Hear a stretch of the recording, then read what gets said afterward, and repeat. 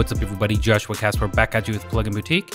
Today, we're going to be checking out Scaler 2 in a bit of detail.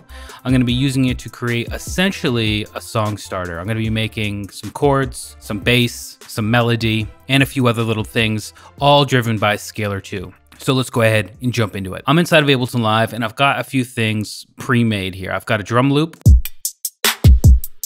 I've got Scaler 2 on a track. I've got a sub or bass instrument on one MIDI channel and then a piano on another. And those are going to come in handy in a little bit, but let's just go ahead and jump into it. The first thing I'm going to do is take a preset chord progression. I'm going to jump into songs. I'm going to come down here to Future Bass and just choose Future Bass 1.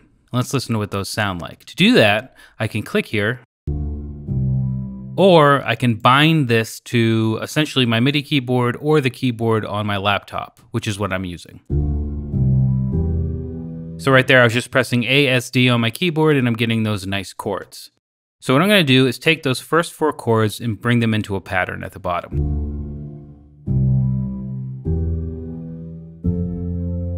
And if I go ahead and play that,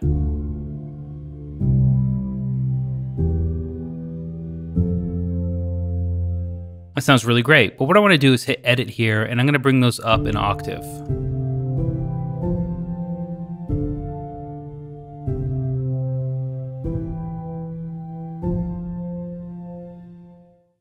Now what I want to do is actually, I really dig the felt piano instrument that's internal to Scaler 2. So what I want to do is inside of Ableton Live, create a new audio track. And then where it says EXTN, I'm going to go Scaler and then set it to in.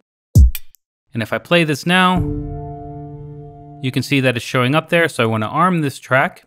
And now what I need to do is hit record here. Now a good way to do this, once you kind of have an idea or you have a project going in your DAW, is to set DAW host sync inside of Scaler 2. And to do that, you just right click right here. And now that this is grayed out and blinking, if I use my spacebar or use the play cursor, or play head rather in my DAW, Scaler will play in sync with it. All right, so that's much easier for me to sync things up and get things going. So now that that's done, I'm just gonna go ahead and hit record and record those four chords. Another thing is I'm gonna turn off loop here so I get the tail end so I can have it later if I need it. It's better to have it and not need it than need it and not have it. So let's go ahead and hit record.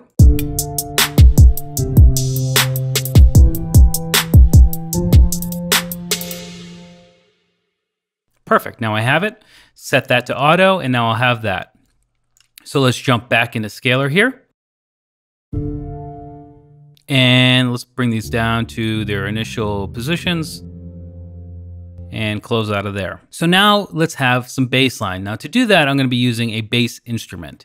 And I can route this inside of Ableton Live to have this trigger my bass channel, but that's not really what I'm looking for because I'm gonna be using this one instance of Scaler to build all kinds of different elements of this track. So what I'm gonna do is use the MIDI capture feature.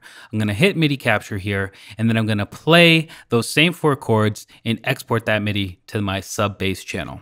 Let's go ahead and do that.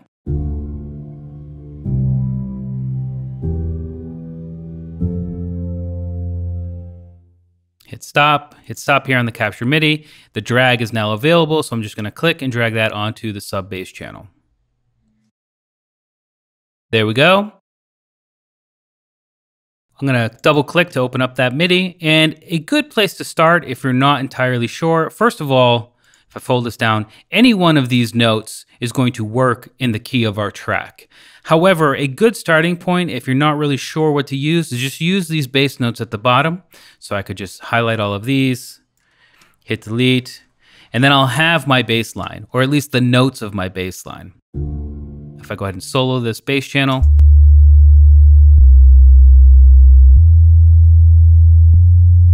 All right, that sounds perfectly good. I can move that up and down an octave if it needs to be lower or higher in pitch.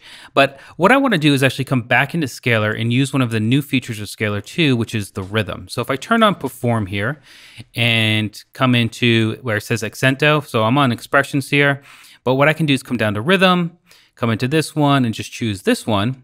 And now if I play this, this is the rhythm I'll have.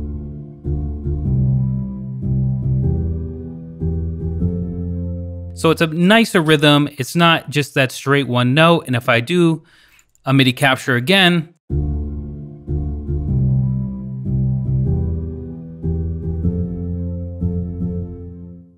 hit stop, click and drag and drop it in there.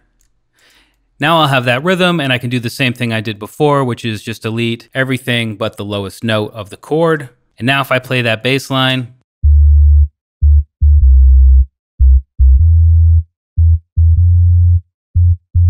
and play that with the drums and those piano chords.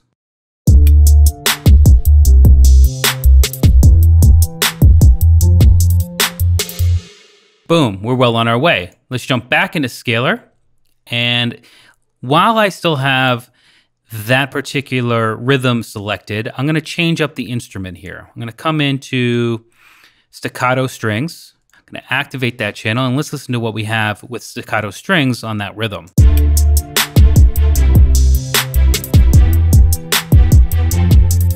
So I really like that, but the notes are going quite low for me. So what I'm going to do to change that or get rid of that is turn on voice grouping. And instead of dynamic, I'm going to go dynamic plus one octave.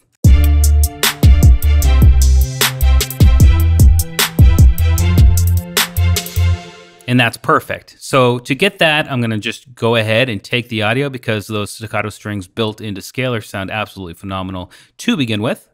And now that I have that audio channel, I'm going to do the same thing we did before, which is come in from Scaler, turn it to in, record, and then just record those.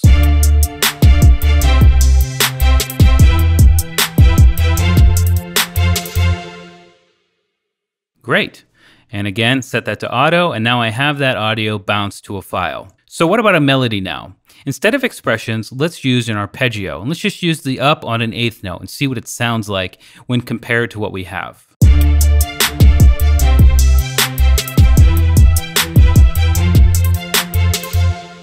I mean, that sounds absolutely phenomenal right out of the gate. So what I'm gonna do here, clear my MIDI, hit capture MIDI, and go ahead and play that.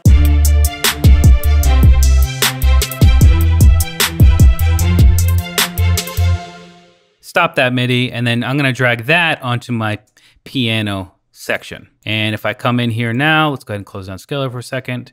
I'm gonna double click that, and I already have a bunch of information in the lower frequencies of this track. So what I'm gonna do here is only keep that higher frequency content for this piano. Boom, boom, boom, and let's listen to it. And in fact, let me go ahead and just turn off Scaler for a second, just so we can hear the actual audio that we have outside.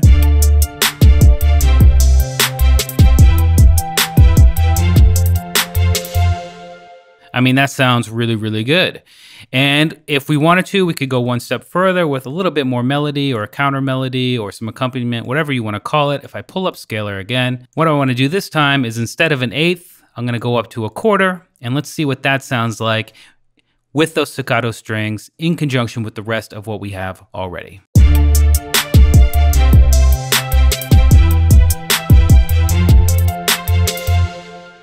Mean, I think that's a pretty good start for what? That was probably 10 minutes and we're well on our way to creating something. We have full flexibility now. Obviously i've bounced some things to audio here but you don't need to do that. You can always have multiple instances of scaler. You can keep the midi. You can do whatever you want so it's non-destructive. It's it's non-linear. And that's one of the most beautiful things about scaler is that you don't need to bounce audio. I'm doing it here to save time and just show you how to get certain things done. We're well on our way right?